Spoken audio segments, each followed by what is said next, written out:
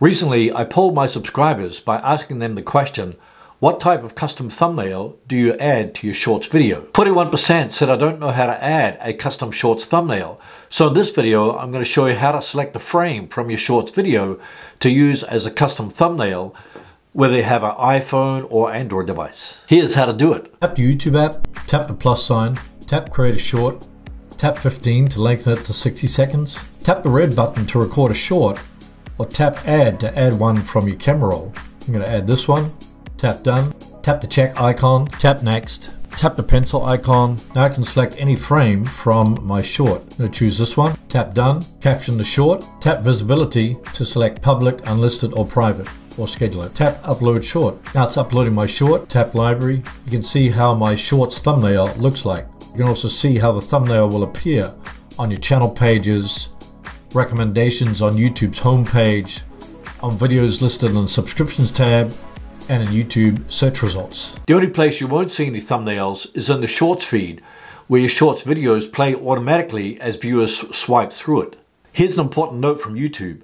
It's not currently possible to change the thumbnail after your short has been uploaded, but we look forward to bringing this feature to you in the future.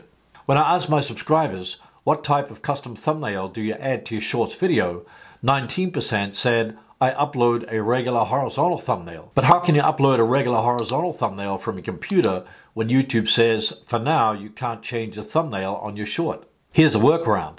Click on the Content tab in YouTube Studio and select the Shorts video you want to add a custom thumbnail to. Click on Details. It's currently showing a vertical thumbnail that YouTube has automatically selected. It says for now you can't change the thumbnail on your short, but if you have the free Chrome extension vidIQ installed, you'll see this blue icon called Create Thumbnail.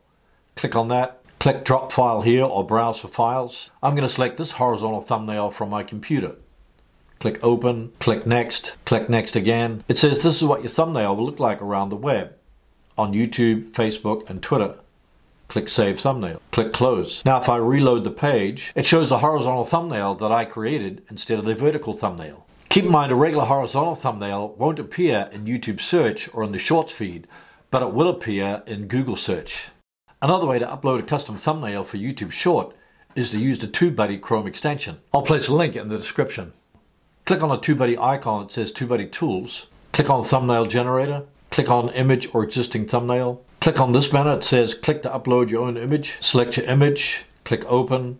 Select your thumbnail. Click Continue. Click Continue. Here it will show all the competing thumbnails on YouTube.